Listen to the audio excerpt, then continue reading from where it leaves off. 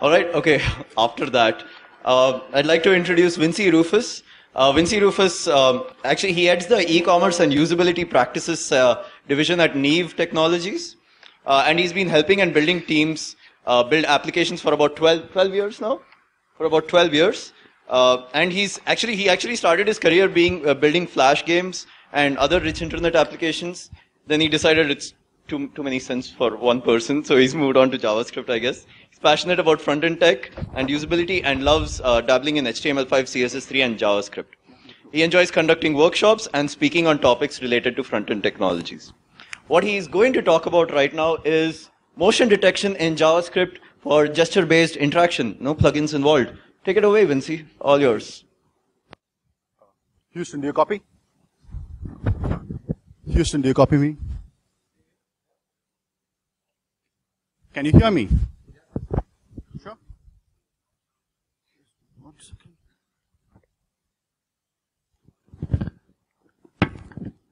Better now? Okay, yeah. So, don't be all the crap that he just said. So, uh, I'm going to be talking about motion detection and trying to see how you can do that with uh, gesture-based animation.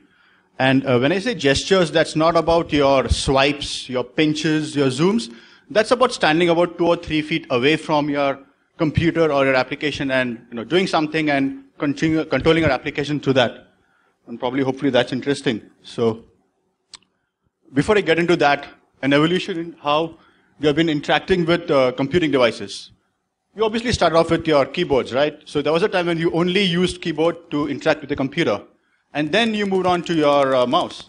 So you had a mouse now, click on the mouse, you had a GUI, click on it, and you'd pass commands. And then the Apple guys came in, and your Apple guys said, hey, what? You can now swipe. You can swipe, you can pinch, you can zoom on your screen, and that passes commands. Great. So that was kind of an introduction to gestures.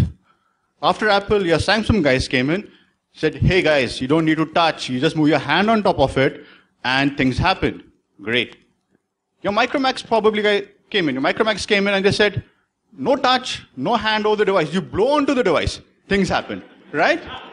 So people are really hooked onto gestures. And uh, I think two classic examples, your Xbox Kinect, awesome things, right? People are going crazy playing with that. You spend hours playing with it. Because you don't need anything. You just move your hands, legs, things work. Your smart TV, your Samsung smart TV. You don't have to run around hunting for a remote. Sit on a couch, move your hand, control the application. Gestures are really, really coming in. And if you look at gestures as such, at the end of the day, it's all about motion detection, right?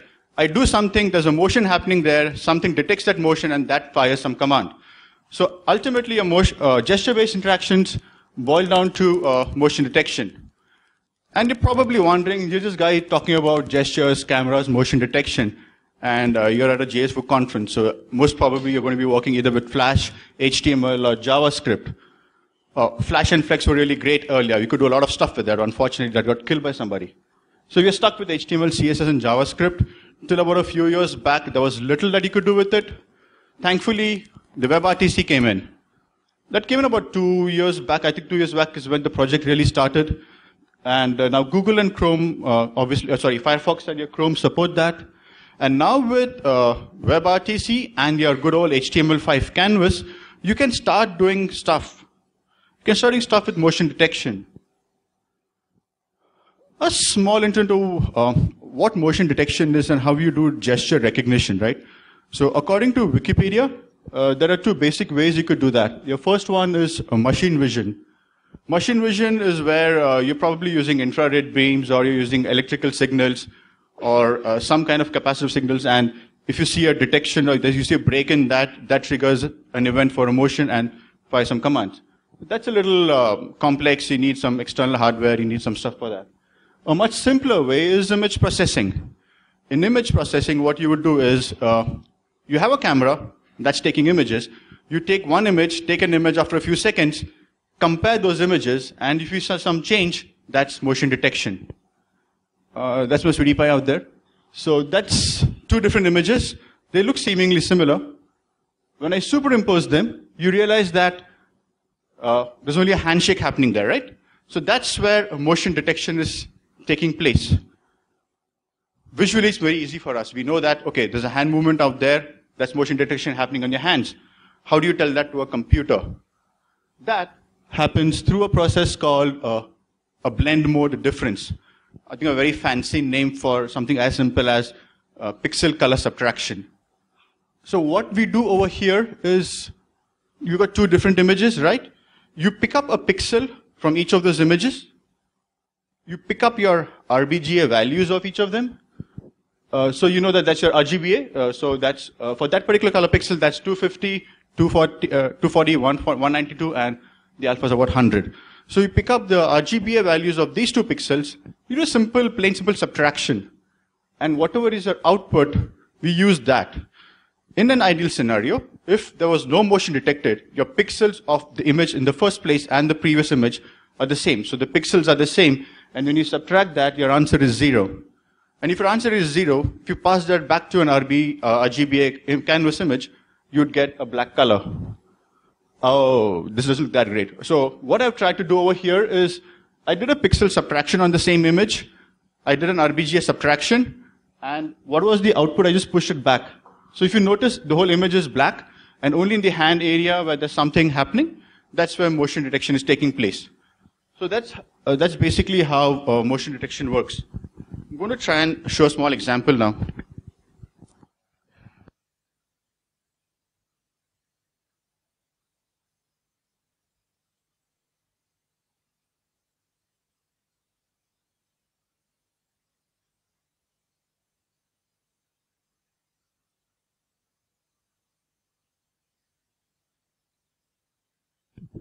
So using WebRTC, I invoke my camera. I give access to that. Over here, what I have are two simple canvas stacks. You think that, that's better? Yeah, I think Okay. One last try.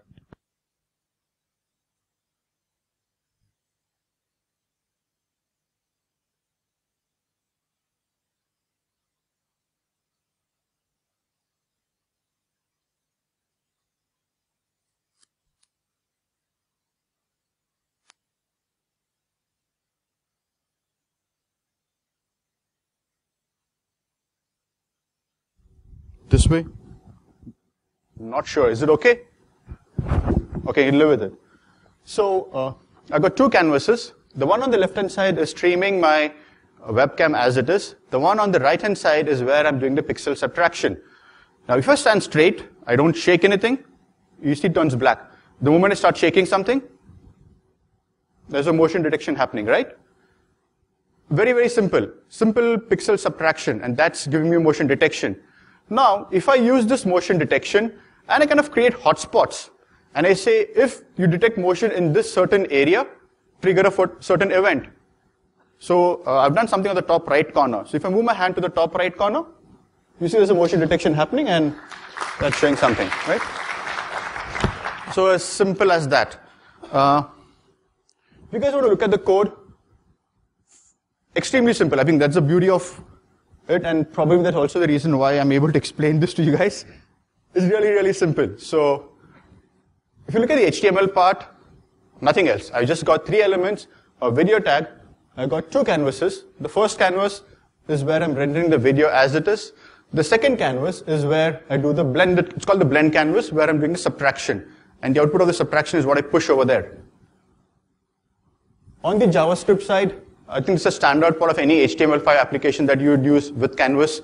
Create the variables, I'm getting the context of the canvas, getting the 2D context on it, saving them into variables. So since I've got two canvases, I'm doing it for the two variables.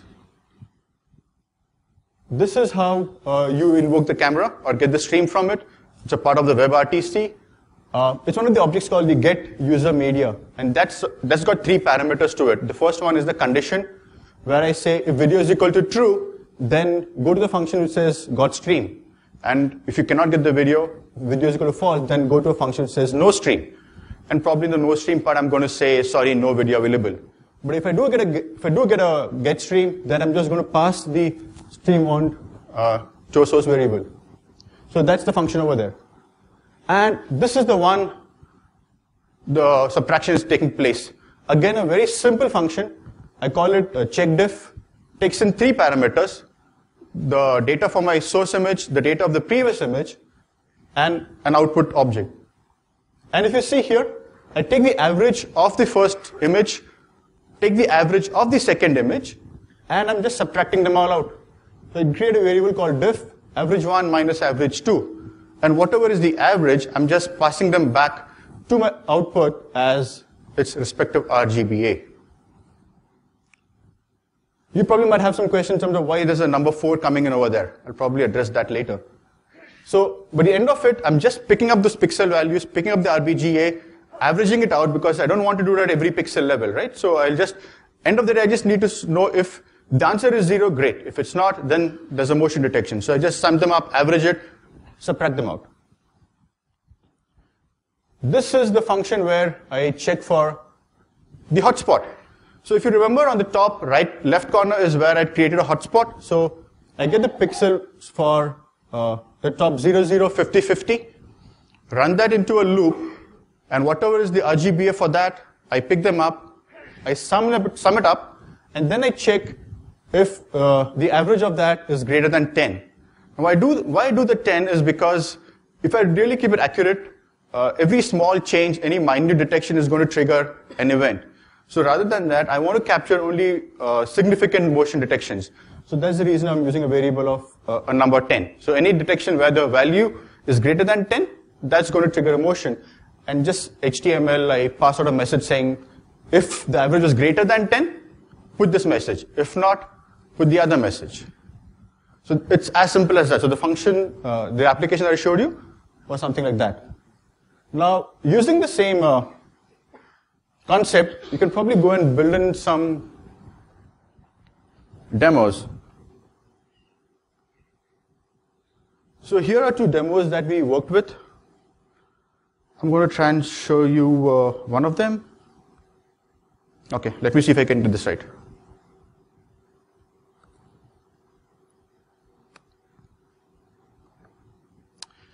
Uh, you guys go to your uh, Myntra.com, jabongs.com, right, and you buy addresses.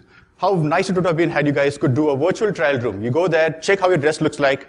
If you like it, then purchase it. So, trying to do that. On the uh, right-hand side, there are. Did the resolution just change? Wow. Okay. Okay, let's try this. So, blue shirt, uh, not that great. Looks better?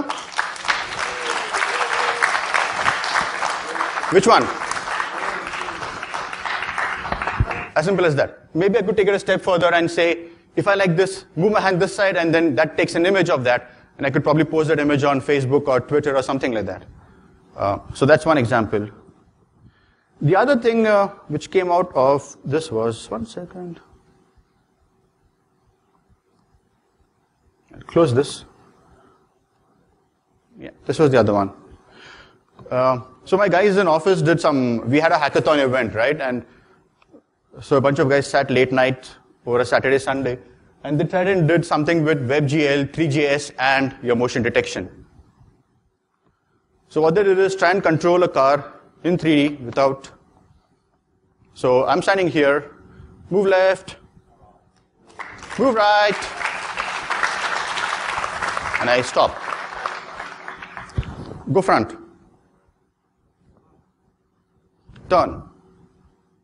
So it's as simple as that. The same, uh, yeah, reverse. Okay, I don't know. So maybe there's a guy you can talk to. So this this demo exact actually was uh, done by done by a bunch of these guys. So the guy in the blue shirt is Piyush. You want to get up and say hi? So he's one of the guys who did that. So yeah, that questions can be directed to him. Yeah, so I'm done. Uh, that's about it. And yeah, my final slide. In true Bollywood style, yeah, this is not the end, but I think this is the beginning of how you could try and use uh, gestures in all your applications. The concept is very simple. It's about so it's about being creative and trying to use it in different ways.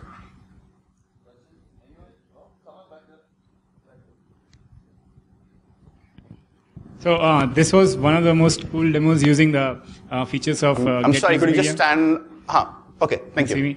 So uh, I just wanted to know this. Uh, uh, how are you doing this at JavaScript level? Like, for example, if you want to um, detect the motion, there has to be a function which is running on, on an interval, right? So Exactly. that is that not a performance issue, or have you checked the memory profile page wherein you're getting memory peaks when you want to detect a motion? Because see, a lot of uh, subtraction you're doing, um, the RGB subtraction. Exactly. So if you're not, I mean, if you're doing all that in the same thread, that's very uh, highly performance intensive, right? Exactly. So what are you doing for that? Yes, so you'll have to start playing with it. Uh, this things change from uh, application to application. Okay. So I do have a for request animation function that's running and it's triggering it, running at about 50, uh, 60 frames per second. Now, depending on the kind of canvas that you're capturing, you'd probably decide if you uh, if you're instead of picking each and every pixel, you would probably skip a couple of pixels. You know, if you look at my function which says uh, get RGBA values, I was using a multiplier of 4.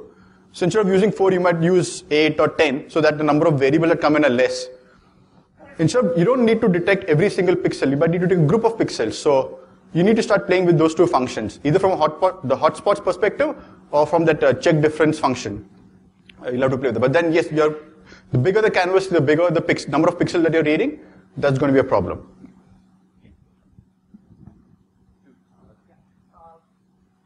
So um, one of the things that a lot of computer vision libraries do is that you really don't really need to use 32-bit information on every pixel, and that's one of the things you did. You took an average instead, right? Yeah. And that reduces to 8-bit. Exactly. Um, do you think we probably need uh, this, uh, maybe something like this in the browser, hardware accelerated in a uh, separate thread? So you can say, give me this canvas, but only 8-bit image.